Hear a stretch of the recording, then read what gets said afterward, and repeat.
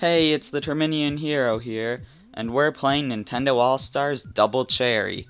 We're onto the first level of the Donkey Kong world. So, yeah, let's play Kongo Jungle. Now, I find it weird how people play through this level. Because they all die, they all seem to die at a part that I think is easy. And no one seems to die at the part that I think would be hard for people who don't know what's coming. Okay, if you look down here, you've got to climb across the vines here. So many people apparently can't climb across these vines for some reason. So many people have died down here. I don't understand how. It's not hard. Do they just not know how to climb vines? I... I don't know. It's weird. They're... They're bad at the part that I'd think they'd be good at, and they're good at the part I'd think they'd be bad at, so... Anyways, got a mushroom there, and a hidden one up there. Now here's a thwomp kind of representing those totems in Kongo Jungle in um, Donkey Kong Country Returns.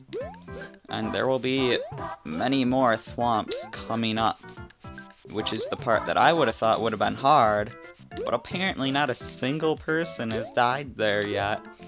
There's a bunch of ways to get through it by being all cautious or spinning around on top you know, getting them to come down and jumping over, getting them to come down and then running under. But it's funner just, or more fun just to run through it like this. But you have to do some pretty small jumps. Yeah, Mario time! And, you know, you have to be in good control of how you jump if you do it that way. And I feel like a lot of people would be too impatient to do it any of those other slow ways, so I don't know, I'm surprised that no one has died there, yet plenty of people can't get past the first vines. I mean... I don't know. I don't really understand how that works, but... Anyways, the next level and the final level of my original pack of levels, which I've now been able to upload 10 more levels because I reached 50 stars, but this next level was my last level in my original pack of 10, and boy is it hard. Because it's based off of a pretty hard Donkey Kong Country level.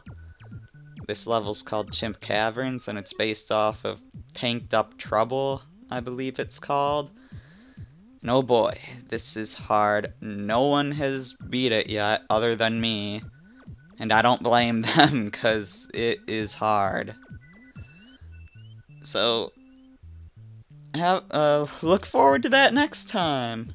I'm the Terminian Hero, and I'll see you then.